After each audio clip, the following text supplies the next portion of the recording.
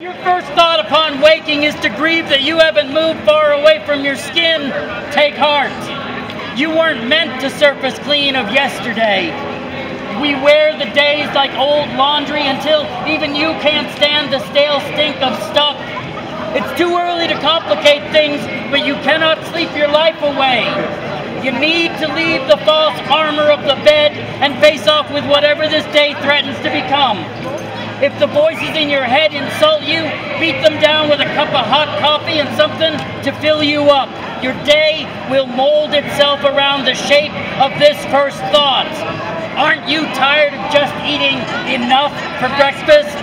Don't you want life to have taste again? How did you ever forget why we cook for ourselves?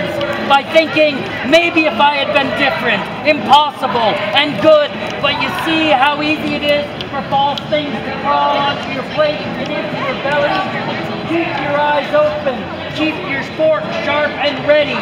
Today could be delicious. Aim for that. Lose a bad habit. Lose yourself in the possibility that you are not yet done with life, nor is it done yet with you. Clean your plate.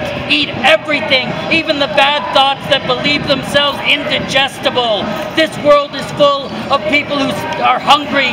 Don't you starve yourself by choice. Get out of your bed. Make yourself the best breakfast ever. Live, damn it. Live.